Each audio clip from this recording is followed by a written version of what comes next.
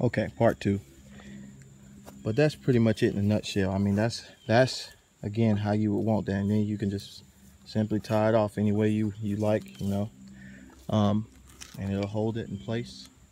And so you have and your um your piece that you're rigging down, somebody can grab it and pull it to where, and so you, that, that's how that pretty much works. That's the porta wrap to the pulley to the target piece, and that's how you would want to um go about doing that, you know. And of course, now I know a lot of you guys see my videos, and I mean, I've had a lot of conversation with guys about using carabiners, but I always use steel carabiners. I try to change them every two years, or no, every year. I try to like twice, once or twice a year, I get new ones, and I know what I'm doing with my stuff, so I don't overload it. And I know that a lot there's a lot of talking about side loading and things, but I'm telling you, um, I like splices now. As y'all can tell, I've spliced a lot of rope. Um, I just prefer clipping in. Some people prefer knots. I'm terrible at knots and it takes too much time for me so I just clip in and I go. And that's um again that, that just helps me be more effective and, and it's it's not as time consuming for me but it's again it comes down to preference. I don't want to be dogmatic about anything you know I, and I still do what I do despite but I've never had any issues never broke any carabiners never had any issues with no rope never snapped any rope. Because again you I see some guys taking stuff that's ridiculous. You have to know and learn what you can take and what your devices can hold.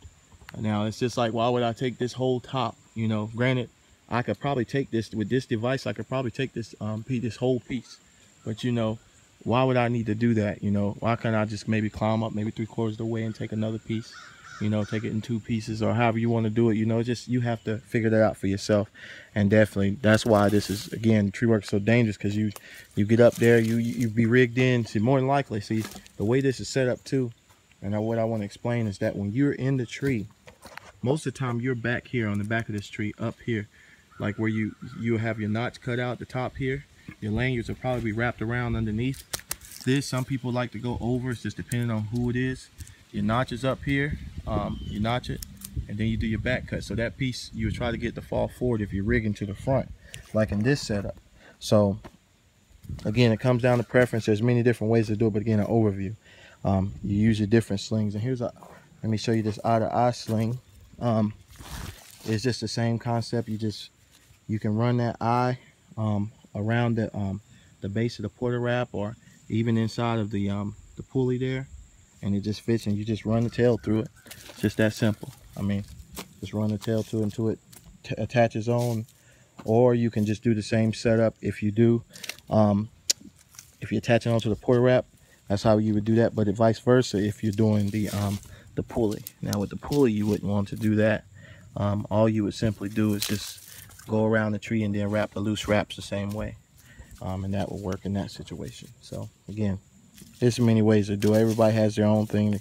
Again, it'll come down to preference. So I'm not going to be dogmatic about it. But I'm going to show you um, something that's neat about um, this porta wrap device. Now, again, like I said, I like to use knots. I mean, use um, carabiners. So I'm gonna take this carabiner off here. Sorry for the video, it's all shaky. I, I said I didn't use my head cam. Let me get this, I don't know why I twisted that on there. Thinking I'm in the tree. but the porter, um, with the um, spiral leg, now this is an old rope that I have there. So all you do, I like, like I said, I clip into to that part and you know of course you would twist this on if you was in a real life situation um, and of course you got it tied off in a porta wrap and see the good thing about this device I barely got lifted up off the tree because of how I got everything set up. It's all over the place. But you can see how that how that piece you see how it stabilizes? Let me go to the middle more here with my foot. But you can see there it go right there. That piece is stabilized. So you have to learn you know weight distribution when you're doing um, a setup like that. And that's how that thing will hang. That's especially good when you're working over glass buildings um, or, or greenhouses and, and buildings in, in general um, those spiral leg devices come in handy and then again too with this piece right here this is considered a false crotch um, that you can make so you'll be in a really good situation um, to be able to um, oh, sorry about that. I almost dropped the phone. You'll be in a really good situation to put this out on the limb, you know, depending on what kind of wood it is. If it's oak, if you have like, say if this was the opposite direction, it was horizontal, this could be on the bottom and you can use it to rig this pieces off of it since you don't have a, a real place to tie into. So there's, again, there's many ways to do this and this is just somewhat of an overview. I know it's all, I got, got it all jumbled up and all over the place, but this is just a, maybe a, a brief introduction to using pulleys and using the porta wrap. And there's many, again, many other videos and you see guys use this. That's why I'm not going to really get in depth with it. But just um, for the sake of having a video on my channel, I know a lot of guys ask me um, using these pulleys, how I like them in, in, different situations like that. How I like the porta wrap. I mean, it's, it's, it's, it saves your rope. I mean, you can just see the difference between going around a tree. I mean, I've had this rope right here. Uh, I can't get it. Give or take maybe a year. Now, don't get me wrong. I do a lot of natural crotch rigging with this three strand. Um, I would say almost two and a half years, two years now. But you can see the quality of the rope is still really good. And I'll try to untwist it a little bit. I got to use both of my hands. But you can see inside my rope there. Look at that. See how nice and new looking that thing still looks and it's and, and I and again I know my cycles of use and I keep that stuff in mind you know and definitely you got to remember what you take in the pieces the size and everything so the better you treat your stuff the longer it lasts if you're taking off tops that's that's 25 30 40 foot long even though they're not that heavy but the drop and all that spring load and everything back and forth you can best believe you'll have less cycles of failure so um or two failure and so there again that's just a brief introduction to this guys um, again, you can use the, the pulleys with single dot slings, any form of whoopie, whoopie sling. And also, if you like me, um, if you like the kind of cut corner, well, not cut corner, but kind of cheat a little bit, that's why I be taking large limbs. You might have seen this device used in the video um, of spurless um, removal of large limbs.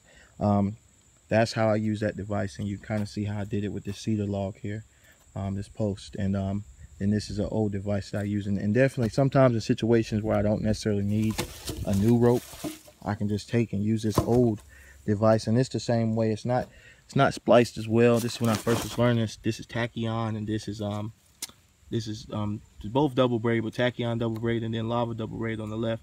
Tachyon, this is so much harder to, to, to braid. Um, but even then, I mean, it's really tough rope though. I mean, I use it. You can see the SherrillTree, the tag. That's another reason why it's so hard too to um, to to splice but and you can see the inner cord there but again nonetheless still effective but don't use if you're in a situation where you need to save make sure you ain't gonna hurt nothing don't use rope like this but this is just only in situations where nothing is i'm not going to be liable for anything or or it's just a situation where i don't want to damage or use my better stuff so i just use the old stuff until it just goes down that way everything's getting again cycles of use keep keep the use going um, same way with the slings and everything that's a single dot sling. Again, you wrap around the tree.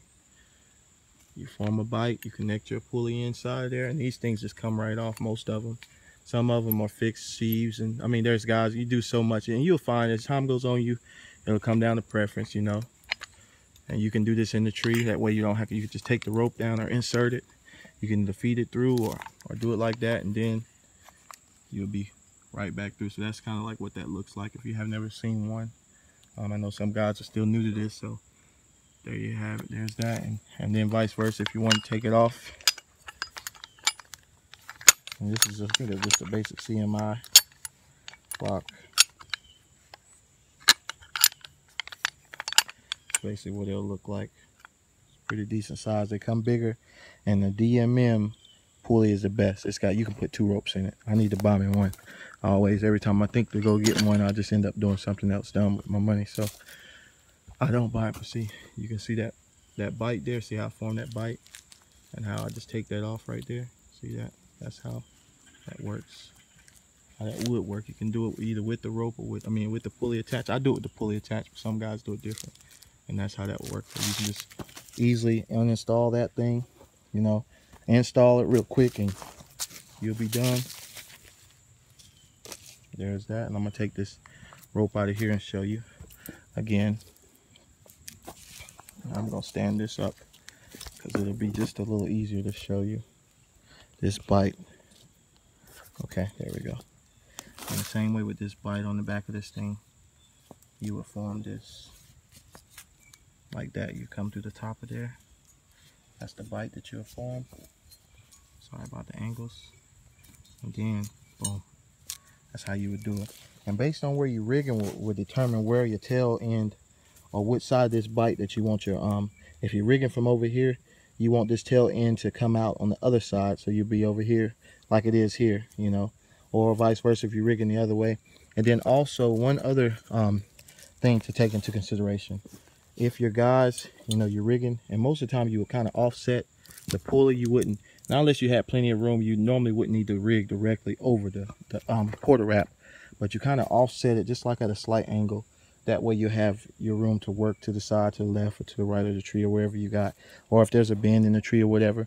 But basically, depending on where you'll be pulling this device, that will determine which side that you would want um, this piece right here to, to pull from.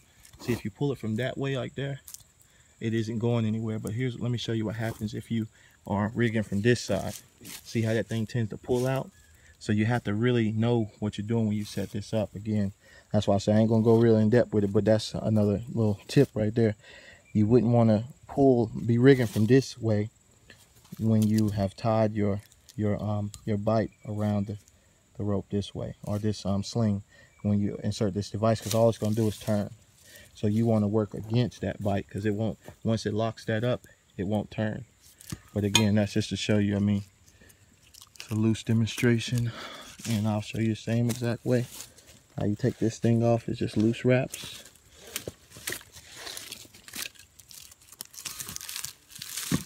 That's all it is loose wraps. One more loose wrap people call it cow hitch. Some people do timber hitches. Some people do other kind of hitches, you know. Some people just use the, the running bow line faithfully on these things. I mean, it's just whatever kind of knot that you decide to use. Hey, go for it, you know.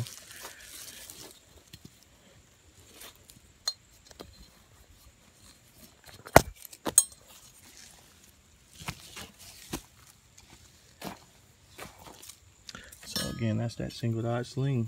Again, you just see how you just go in, feed it into that loop, and it holds it, and you go from there.